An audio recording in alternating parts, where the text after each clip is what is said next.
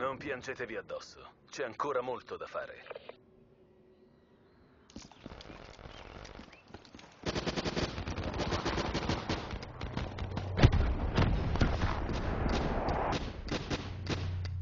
Se l'è cercata quel figlio di puttana. Intervallo.